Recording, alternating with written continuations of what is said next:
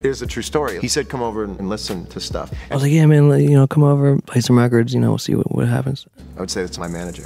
I'll go and listen to people's records, and then I'll, I won't play on them. Uh, and he comes by, you know, he doesn't have a guitar because he didn't plan on doing anything. But he comes over just to hang out, and listen to music. And I got to Mac's house, and he played me this thing he had just worked on that morning.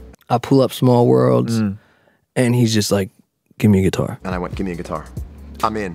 I think something to do with him having worked on it that day. It was still wide open and fresh. And there's a lot of songs I hear people play for me, and I go, man, I wish I was on this song, but it's done. And I picked up a guitar and I went, boom, bup, da boom, bup.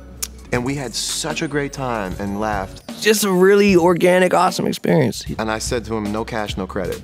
I said, I'm just happy to do it, man. I don't want people talking about me. I want people talking about your record, you know. And He's a really good guy.